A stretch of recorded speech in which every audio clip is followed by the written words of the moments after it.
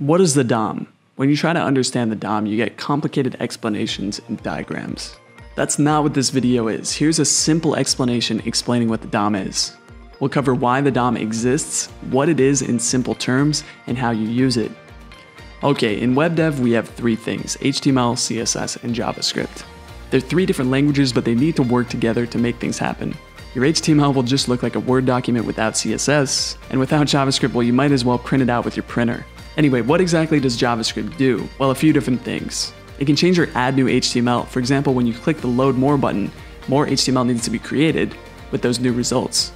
JavaScript can change our page without having to refresh it, which is huge.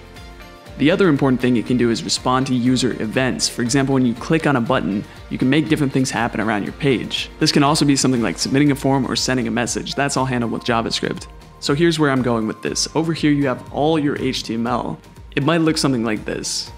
Now the way we change the HTML with JavaScript is with the DOM, which is over here. Now the DOM is just the exact same HTML, okay? The exact same, but it's represented as a JavaScript object. So the DOM is always exactly identical to the HTML on our page. If we change anything in the DOM, our HTML automatically gets updated, and if we add new HTML, then our DOM will change too. Now things staying in sync, we don't have to worry about that. The browser takes care of this under the hood. But the important part is the DOM and HTML are like the same document in two different languages like English and Russian. So we can talk about the DOM and we don't just mean this object here. We mean everything that's attached to this object and also the ways we can interact with it. This can mean methods, sub-objects, and properties, which we're gonna walk through now.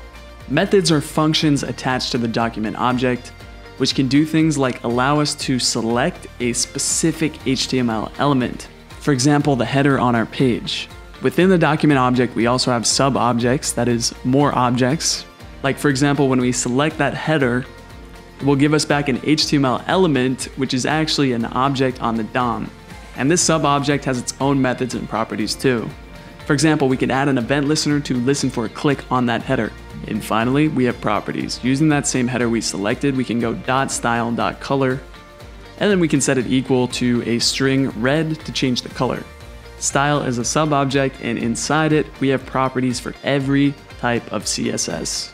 So I know I just covered a lot, but those three things, query selector, event listener, and the style property, well, those are the things you're gonna be using 70 to 80% of the time with the DOM. So if you can understand just those three things, you're gonna be in pretty good shape. So long story short, one HTML file equals one DOM or document object in JavaScript. If you change the DOM, your HTML updates automatically, and this is taken care of. We make these changes using the methods, properties, and sub-objects on the DOM. Lastly, by just knowing query selector, adding event listeners, and updating style properties, well, that can get us a long way, especially when we combine these with other features of JavaScript, such as writing loops and sending HTTP requests. With all that said, you know the basics of the DOM, so get out there and start using it. There's no better way to learn.